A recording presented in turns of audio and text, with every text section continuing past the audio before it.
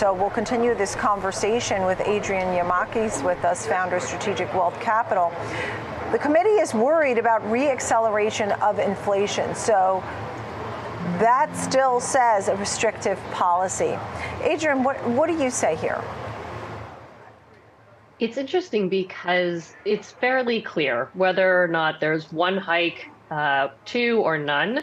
The Fed is much, much closer to the end of the tightening cycle than not. If we look at inflation, it's come down uh, 3%. It was over twice as much a couple of years ago. So, as the Fed is measuring labor market and inflation, we can see that their fairly quick and rapid tightening and rate hikes have been able to bring back the inflation and labor numbers remain strong. So it's a bit early to tell what will happen, but I think, uh, as you mentioned, a fair unanimous hold on the rate is pretty meaningful.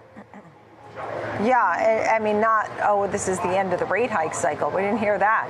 Um, in fact, they're waiting on more data. They're watching everything, proceeding carefully, remaining rates uh, remain restrictive, uh, watching for inflation if it's going to go in the right direction and become tame, disinflation something that they're watching. I mean, they say that um, the coming months would help to clarify the extent to which disinflation is continuing. I mean, what are your worries here? Because there are some worries if the Fed raises even one more time that we are more likely to see a recession.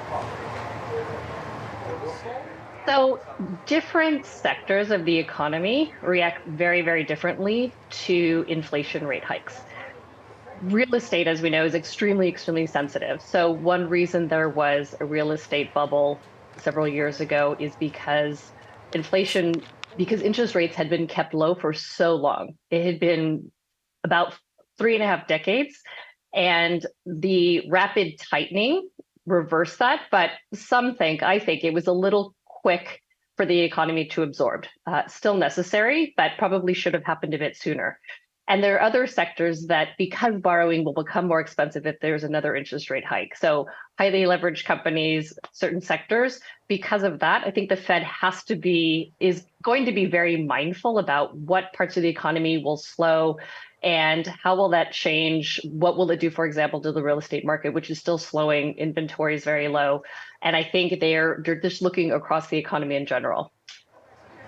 Yeah, you talk about valuations, and that valuations still favor an international and exposed portfolio in that sense, um, because they are making it very clear here that policy can stay at these levels for some time. So all those folks who are hoping for some cuts, maybe a little disappointed here. I'm seeing the market selling off a little bit after these minutes.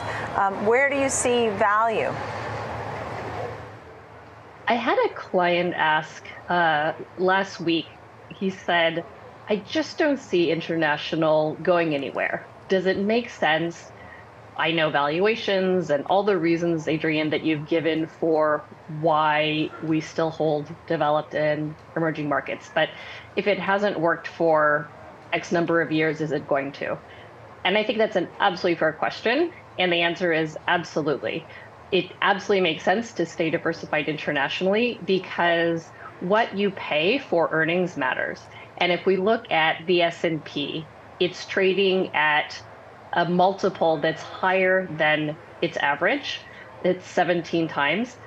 And if you and it's also trading much much higher than for example international developed, which is about at, at about 11 times. So when you're looking for what are the values, what are where is there where are there favorable valuations?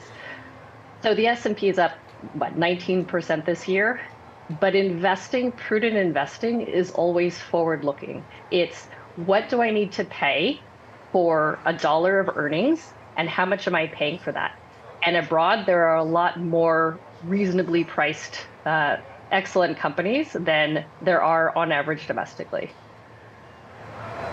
And so at this point now, um, in this environment, because there are still folks who do like those international stocks and, and, and did manage to find some winners, um, it can be more challenging, particularly if you're less versed in that area. But um, assuming you know, we're back here at home and we're looking at um, the fixed income market. You're actually looking at longer duration for fixed income, right? I know everybody's running for a quick uh, 5%. What is it in the fixed income market that attract is attractive to you maybe for a longer duration? So I remember giving presentations about 14 years ago about uh, discussing specifically the danger of duration. So going out further, holding for longer maturity holdings. It's very counterintuitive, but now the opposite is the case. So right now for short term, three three month, six month treasuries, they're yielding 5.4, 5.3%, and very attractive. But counterintuitively, because of where the yield curve is, if you buy, for example, a two year treasury that's getting slightly under 5%, over the longer term, over a couple of years, you may actually be better off because you're locking in a higher yield for a longer period of time.